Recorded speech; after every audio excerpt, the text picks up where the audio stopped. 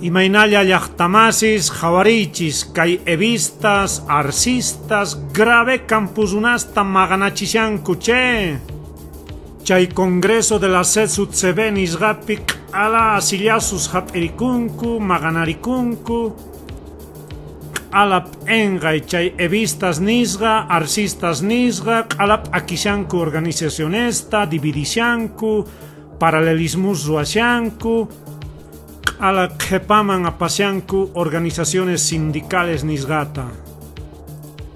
A la politiquería Yapuni, Gongapunku y Machus Ñompata cargas reivindicaciones históricas del movimiento campesino indígena, Mana de Batincuchu proyectosta, y Machus interesan Basesman, Kai Congresos Pega organiza Kunankuari beneficios Basesman Chayamunampag, pero man, Maganakusllapi Kashanku. Señores, la pugna repugnante entre evistas y arsistas está llegando al extremo de dividir, de destrozar las organizaciones sociales, particularmente la del movimiento campesino. El Congreso de la Confederación Sindical Única de Trabajadores Campesinos de Bolivia ha sido un escenario más de peleas, sillazos, gasificaciones, sin duda esto es consecuencia de cómo el MAS ha venido desnaturalizando, vaciando de contenido y de objetivos a la gloriosa CB. Nos preguntamos dónde quedaron los históricos objetivos reivindicatorios del movimiento indígena y campesino. Parece que se olvidaron de la histórica lucha por la liberación y contra la opresión del campesino, Hoy lamentablemente gran parte de la dirigencia se está dedicando a defender los intereses politiqueros por un lado de Evo Morales y por otro lado de Luis Arce.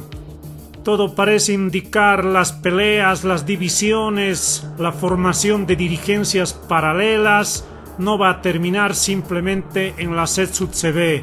Seguramente ahora esto se reflejará en las federaciones departamentales, provinciales, regionales, hasta en los sindicatos agrarios. Situación preocupante que obviamente los hermanos campesinos no lo pueden permitir.